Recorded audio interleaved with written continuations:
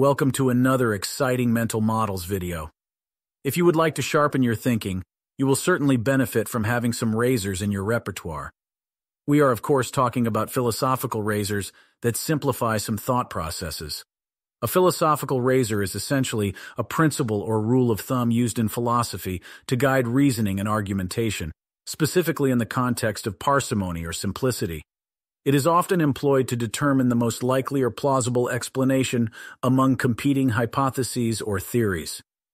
The main idea behind a philosophical razor is to favor the simplest explanation that adequately accounts for the available evidence rather than resorting to unnecessary complexity or assumptions.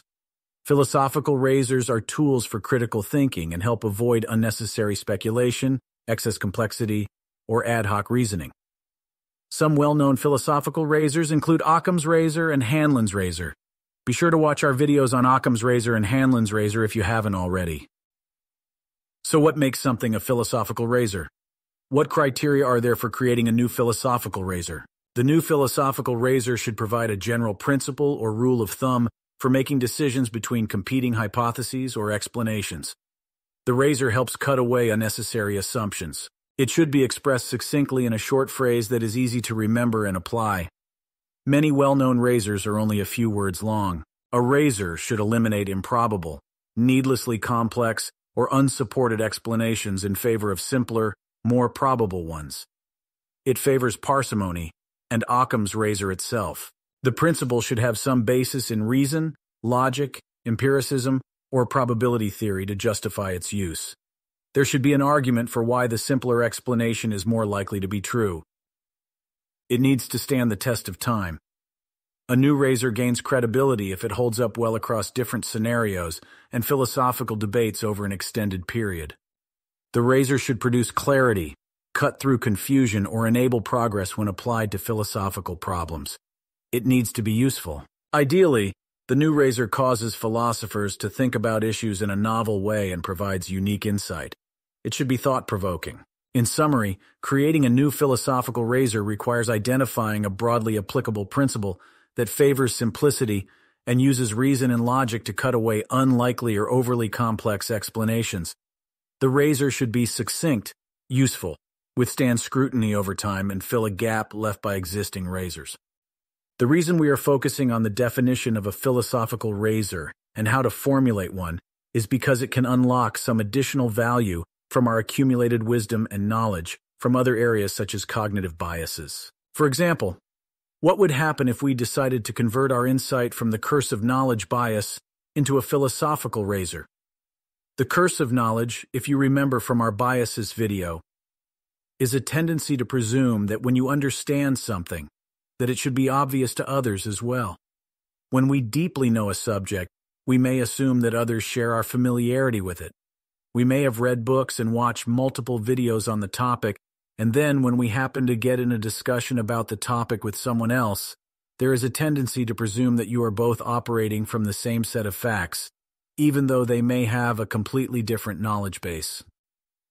What if we create an actionable philosophical razor based on these insights? We could call it the fourth grader razor. In order to apply the lesson from the curse of knowledge, we can reason that a good heuristic when dealing with others would be to start with a perceived mutual understanding, beginning with the understanding a 10-year-old or a fourth grader may have of the subject. This shaves away a lot of assumptions about what we think the other party already understands, and we can elaborate from there while building on mutual understanding. This leads us to define the fourth grader razor as, when discussing and making assumptions about another party's knowledge, subtly assume a fourth grade understanding and build up from there. Turning our valued principles into more actionable razors was an idea inspired by the work of the ever insightful George Mack and a particularly helpful tweet he recently posted detailing many new philosophical razors he has developed from his life experiences. We will now explore a few of his particularly useful razors. Bragging razor. When someone brags about their success or their happiness, you can assume it's half what they claim. And if someone downplays their success or happiness, assume it's double what they claim. Luck Razor. If you are stuck with two equal options, you should pick the one that feels like it will produce the most luck later down the road.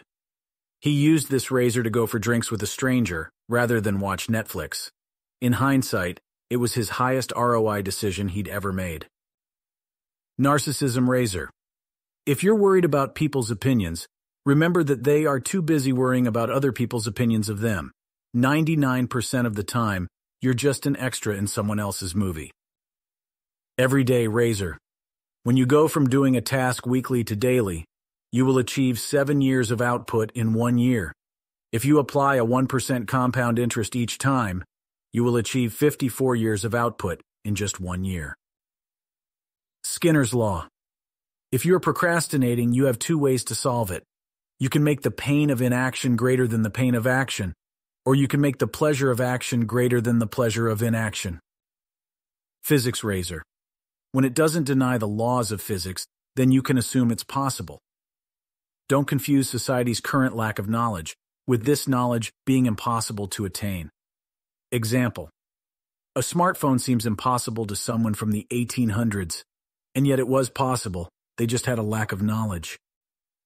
We now have a better understanding of philosophical razors, some common examples of razors, an understanding on how to create our own philosophical razors based on our principles or accumulated wisdom, and we even covered some excellent cutting-edge examples of new razors.